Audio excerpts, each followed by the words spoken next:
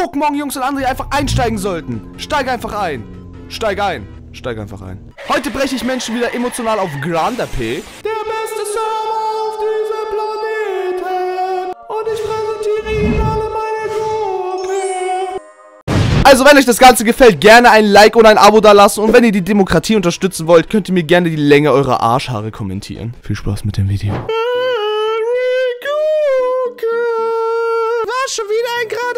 Video, sagte nicht eine Seele auf dieser Erde, denn die sind die Besten. Moin, Kollege. Bin mal ein bisschen schwach auf den Beinen. Könntest du mir eventuell so ein bisschen Geld für einen Mietwagen geben, weißt du?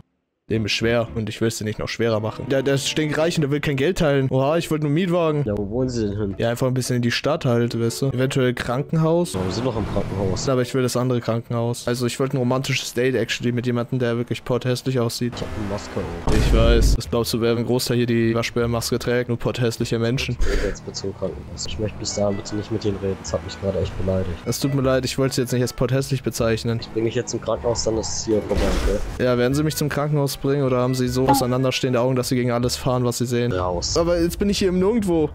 Ey, ey, stopp! Hey, Sie können mich nicht einfach irgendwo hier lassen. Das geht so nicht. Nein, Sir! Bist jetzt ein bisschen runtergekommen. Ja, es tut mir leid. Sie, Sie haben mich nicht dahin gebracht und ich dachte, Sie wollen mich actually ein bisschen wie einen fetten Menschen rollen. Ja, komm, steigen Sie ein. Okay, okay, gut, danke schön. Wir fahren jetzt zum Krankenhaus. Ja, und ich würde gerne auf der Hinfahrt nicht gern so mit Ihnen reden, weil er mich einfach ausstehen lassen und hätte mich hier in der Sahara verdursten lassen. Das hat mich verletzt. Sie haben mich erst hässlich genannt. Aber bei aller Liebe, guter Mann, Sie fahren echt schrecklich. Es, es gibt zwei Möglichkeiten. Bringen Sie jetzt zum MD und alles ist gut. Oder ich bringe Sie nicht zum MD und setze Sie wieder irgendwo in der Sahara jetzt aus. Nein, bitte nicht. Bitte bringen Sie mich einfach zum MD, ja. Äh, halt, stopp. Nein, nein, nein, nein. Ah! Sie kriegen mich niemals, die Vergewaltiger. Ah! Mit einem Jeffrey Dahmer steigt man nicht ins Auto.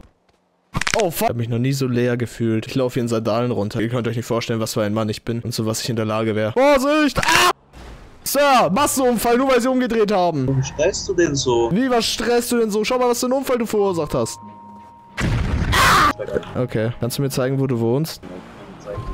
Scheiße, Sir, Sie können echt nicht nochmal reden, weil das war keine normale Lautstärke. Hat Malaria? Sie haben Malaria. Lass mich raus, ich bin mit deinen lass mich raus. Ah! Ah! Sir, Sie haben Malaria, das ist ansteckend. Keine Lust auf Malaria. Ich will gesunde Kinder. Nein, warte, ich will noch einen Spielplatz spielen, lass mich. Eine Runde will ich noch spielen. Wenn du so weiter machst, bleibst du dein ganzes Leben kinderlos. Sir, ich habe wirklich literally keine Ahnung, wovon Sie reden. Ah! Nein, stehen! Digga, du stinkst hammerhart nach Gimmel. Das ist eine Mischung aus Gülle und Pimmel, Digga. Aber ich bin entkommen. Ein freier Elf. Soll ich es einfach beenden? Ich bin hier extra hochgerannt in der Hoffnung. Oh, fuck. Ich habe eine Lebensmittelvergiftung. l a g r f e. Okay, Taxi. Herkommen, sonst Popo-Pirat. Guten Tag. Oh, 500 Dollar. Geldgierig, aber gut, akzeptiere ich. Einmal bitte zum Krankenhaus, ich habe eine Lebensmittelvergiftung. Mir geht's nicht so gut. Das fließt aus allen Öffnungen, was soll ich dir sagen? Leben ist eklig manchmal. Schönen Tag noch. Ich habe absolut bösen, brachialen Durchfall. Aus dem Weg, Officer, es fließt. Äh, Entschuldigung, kriege ich eventuell eine Lebensmittelvergiftungspille? Yummy, yummy, keine Scheißerei mehr, Dankeschön. Runter hier vom Auto. Ich wollte doch gerade runtergehen, Entschuldigung. Ich Achtung, stattliche Anhörung. Nein, was habe ich denn gemacht? Ich habe hier ganz viele Zeugen. Dein Zeuge bin ich ganz sicher nicht. Bruder, warum hast du eigentlich so eine Ja, dicke Digga. Nase? Weil wie die Nase eines Mannes, so auch sein Johannes. Warum siehst du eigentlich so aus wie ein Skelett? Warum hast du diese Schminke drauf? Nicht schämen, du, du hast es doch tätowiert. Ja, aber guck mal jetzt. Jetzt siehst du so aus, als wärst du ein Chirurg. Als wäre deine Mutter tatsächlich stolz auf dich. Yo! Ein Fahrrad! Kein Fahrrad! Entschuldigung, der Mann mit den runden Haaren. Ich wollte Sie fragen, was, was sind Sie eigentlich hier? Man sieht es doch auf meiner Weste. USSS? Ich kann das leider nicht entziffern. Ja, United States Secret Service. Was macht er? Personenschutz. Schützen Sie dann so einzelne Personen oder mehrere? Mehrere. Kurz, knackig und zart, so mache ich meine Antwort. Wenn sie mehr Auskunft brauchen, einfach zur Regierung gehen. Die Regierung, die ist das mit dieser amerikanischen Flagge da. Selbstverständlich. Ja, danke schön. Dann alles klar. Kurz, knackig und zart. So mache ich meine Männerärsche. Entschuldigung, Jungs, könnt ihr mich lotsen? Ich mag keinen Kratzer an dieses neue Ding bringen. Ja, hier, durch. Komm ich durch? Ja. Sie Lügner! Wie inkompetent kann ein Mensch sein? Ey, also wirklich jetzt mich nur rauslotsen müssen. Oh. Die Menschen wurden gerade einfach nur von dem Erdboden vaporisiert. Ist das dieses Leben? Lieber Bobbycar, es fährt so wunderbar. Tanzt du auch noch? Okay, untrollable guy, because er ist einfach neu und selber ein Troller. Er e-raped meine, meine Ohren. Oh, das waren meine Reifen. Ey! Mensch! Busfahrer!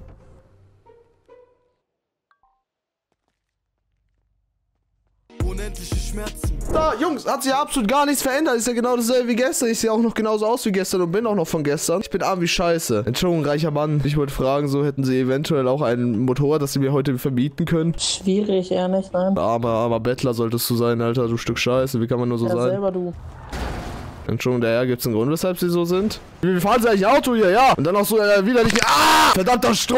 Entschuldigung, Sir. Meine Mom sagt, ich sehe aus wie ein Neandertaler. Mein Dad ist ein bisschen leicht rassistisch und nennt mich Türke. Ich möchte jetzt nicht Streit damit anfangen, aber ich wollte nur ein bisschen Geld, sonst werde ich für immer beleidigt. Und Bart steht mir halt einfach nicht, weißt du. Oder was sagen Sie, guter Herr? Denken Sie, der Bart steht mir? Nee. Rassist. Ich will einen Mietwagen. Oh Mann, die Karre ist viel zu teuer. Entschuldigung, der Herr. Soll ich Sie kurz mal mitnehmen? Nee, nee, passt schon, alles gut. Steigen Sie einfach ein. Nein, nein, alles gut. Einmal kurz einsteigen. Jeder Weg ist mir recht, ja? Ohne Bezahlung. Einfach einsteigen, der Herr. Einfach einsteigen. Ist auch billig. Nee, nee, alles gut. Steig einfach ein. Für was denn? Einfach reinkommen. Passt schon. Kann losgehen. Nee, alles gut, passt. Lass uns die Straße schlagen. Ich will aber nicht schlagen. Leben ist sowieso ein Hochweg, also kommen Sie. Der Digga, als ob ich nicht wohin fahre. Nicht kündigen. Sag, Interaktion, Geld abheben. Nimm mir mal 500 mit, weil ich brauche nicht so viel. Easy money, easy goes. Du hast keinen Führerschein? Wie, der wurde mir gerade frisch genommen, oder was? Hä? Digga, wo ist mein Führerschein, hä? Ich hatte doch noch bis zu 5 Sekunden ein. Da konnte ich Auto fahren, aber jetzt nicht mehr. Ja, komm.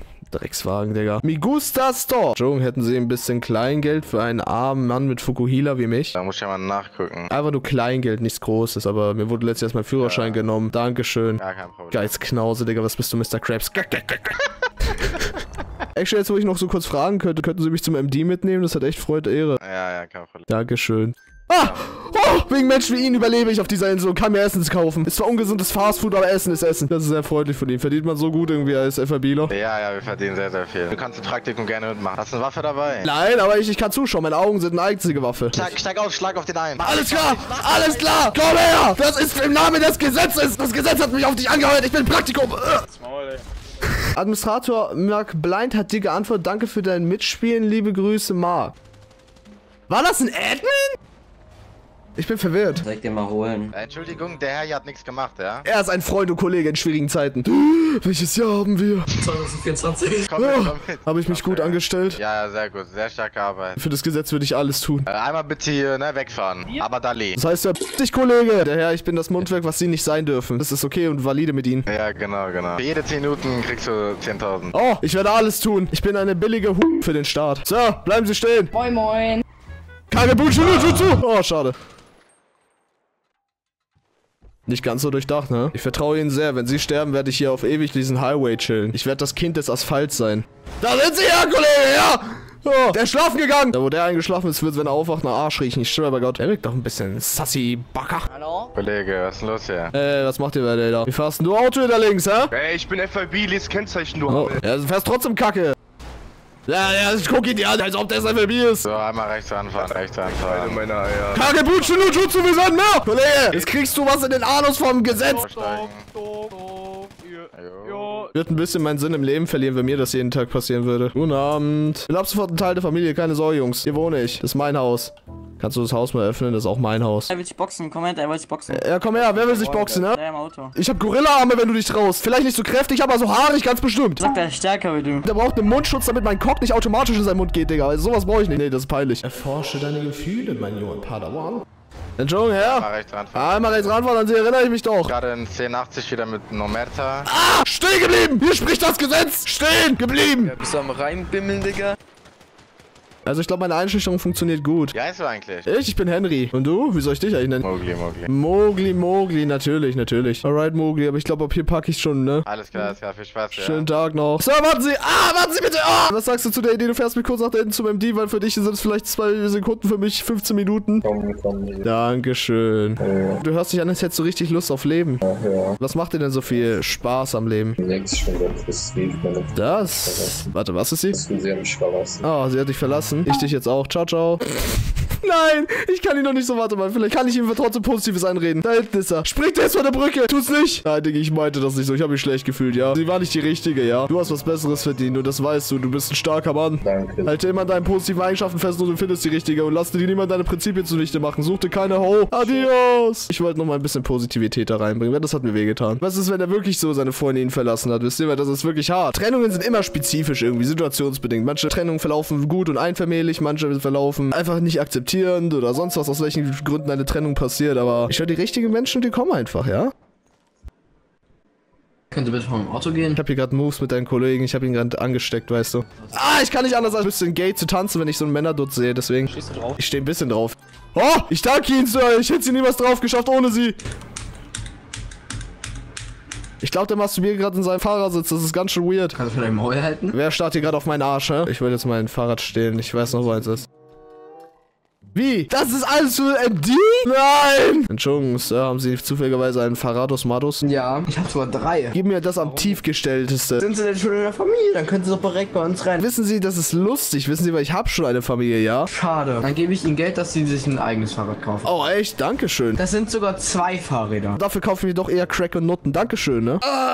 Wenn euch das Ganze gefallen hat, nicht gerne vergessen, ein Like oder ein Abo dazulassen. Ich bin eure Henry Goke. Äh, äh, äh, äh. Und ich liebe euch. Auf Ernst. Ciao! bist einfach hart. Du bist so hart wie die fucking Tür